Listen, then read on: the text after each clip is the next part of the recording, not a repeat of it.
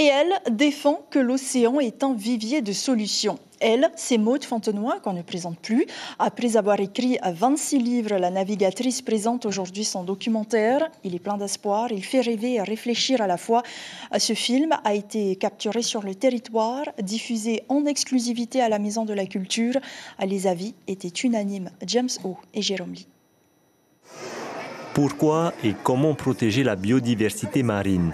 C'est une problématique abordée à l'école et dont les réponses sont dévoilées dans le documentaire Un océan de solutions de Maude Fontenoy. Qu'est-ce que tu as appris euh, bah Déjà, il ne faut pas jeter des déchets dans la mer. Il faut la laisser propre et la nettoyer. Qu'est-ce que tu as appris? Euh, J'ai appris que les animaux, c'était bien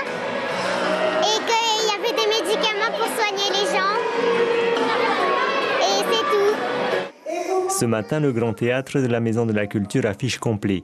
Et pour cause, 700 élèves du primaire ont fait le déplacement. Certains arrivent de la presqu'île. Pour la plupart, ils ont été sensibilisés aux enjeux qui pèsent sur la biodiversité et qui nous concernent tous.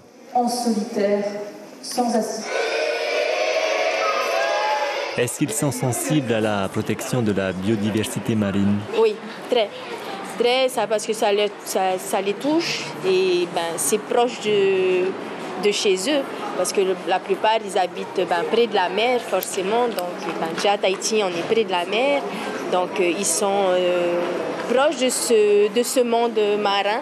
Mais du coup de voir les les, profondeurs, ça les intéresse encore plus. Après la projection du film, un petit moment d'échange avec la navigatrice avant de retourner en classe pour faire le bilan de cette matinée.